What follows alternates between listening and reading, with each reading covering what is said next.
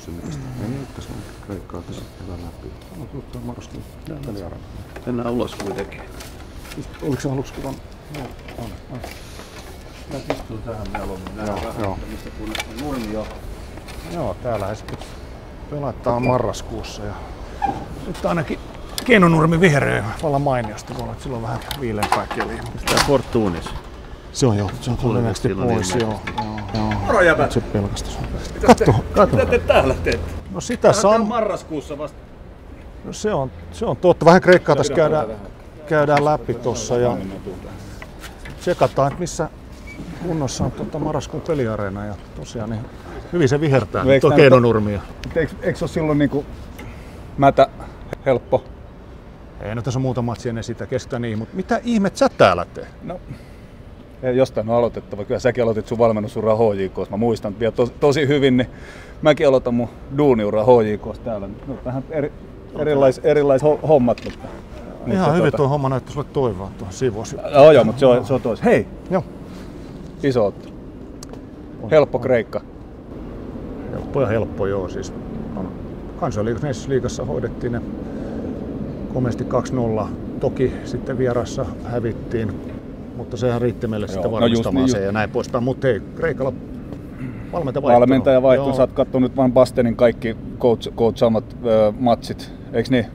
Eikö No, Chipi se on- se- eikö se ollut siellä? Onhan se siellä ollut, mutta tota, enemmänkin se on Sollessa ollut. Ja, Onko Laamille, tseka- onko Laamille soitettu? En ole soittanut, mutta on kattonut Laamia aikaisemmin ja tiedän tasan tarkkaan, miten ne siellä pelasivat. Mikä filosofia? Onko ihan 4-3-3? Joo, perushollantilainen mä luulen.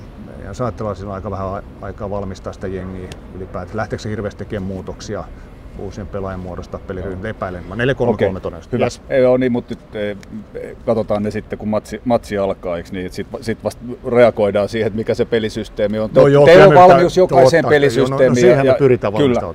Mutta hei, tämä on iso ottelu. Siis ei, ei- ei Suomen ei ole koskaan ollut näin iso ottelu. Tiedät no, sä sitten, kuinka iso ottelu Mä tiedän, kyllä mun mielestä sen Nations Liiga Kreikka-peli kyllä aika iso. Että sillä Ei, tämä on iso. Tämä on, tää on rive isompi. Hei, tää on, hei, Mikuli, tämä on vasta meidän viides matsi. Meillä on, ollaan sen jälkeen vasta puolessa välissä. Mutta sä tiedät, Se- sen, sä tiedät sen, että tuosta Kreikasta kolme pistettä. Mm. Sitten voidetaan ne mädät, mädät tota, heittopussit kotona. Ei meillä sellaisia. Joo, Italia vastaan hävitään joka tapauksessa, siitä ei ole No, mitään saumaa. Mutta sitten sen jälkeen niin kaksi, kaksi vierasta, Bosnia, Kreikka. Pahoin. Sieltä, niin, sieltä, riittää, sieltä saattaa riittää Bosniasta tasuri, niin me ollaan kisoissa. Sä oot ihan selvästi miettinyt tätä vähän No pidemmälle. mä tää oon juttu. kerran, tää on eka kerta kun mä oon laskenut lukion jälkeen. No, sulla on varmaan joku pistemääräkin on, mitä tarvitaan ja muuta. No, no siis 18-20 silloin yleensä menty. Joo, et kyllä tässä mennään matsi, matsi kerrallaan. Iso ottelu. No niin, mutta toi on iso ottelu, on seuraava hei, peli. Siis ilman muuta kaksi imamatsia ja ennen kaikkea Kreikka ekana ja jos mä sanon samanlainen hurmioitunut kannustus meidän taakse, kun, Täystupaan saatte.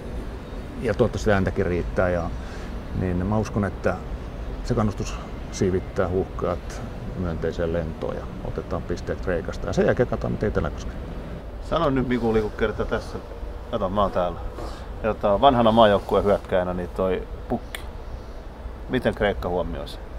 No siis ihan sama, kyllähän kaikki muutkin on yrittänyt Teemu, Teemu huomioida, mutta ei Teemu pysty tällä hetkellä. Sille voi antaa huomiota, mutta ei sitä pysty huomioida sillä tavalla, että sen saisi sais, tota, tukahdetettu. Niin isolla itseluottamuksen kaveri tällä hetkellä pelaa. Mutta aikaisemmin, niin kun oli puhuttu just tästä yhteydessä, niin luuleeko sä, että meillä on mahdollisuus pärjätä Kreikka Italia vastaan ilman iso hyökkäjä? Öö, Tätä aina, aina Mä oon aina esille. halunnut, halunnut iso hyökkää ja, ja, ja, edelleen se kaipaa sinne rosteriin sitä, että sillä että ei ole, te olisitte varmaan jo voittanut Italian vieraissakin yhdellä Mites isolla hyökkäällä. Bosnia-Herzegovina se voitettiin ilman iso hyökkäjää. Joo, välillä tulee semmosia, semmosia tilasto, tilastokummajaisia. Mä en tarvitse sitä enää. mies jatkaa hommiin. Äkä ilmeisesti tuon huuttelee jotain tuonne hommiin.